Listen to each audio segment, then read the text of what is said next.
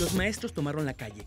Unas 300 personas, la mayoría afiliada a las secciones 16 y 47 del SNTE, se reunieron este jueves en la Plaza Talpita, al oriente de Guadalajara, durante el arranque de la campaña del Partido de Nueva Alianza El Panal. En sus discursos, los candidatos a senadores, diputados y al aspirante al gobierno de Jalisco, Ángeles Martínez Valdivia, pusieron como prioridad en sus discursos a la educación pública. En el arranque de la campaña del Panal, ligado a la lideresa del SNTE, el Bester Gordillo, participaron el líder de la sección 47, Miguel Rodríguez, y de la sección 16, Fleury Carrasquero, candidato a diputado por el distrito 18.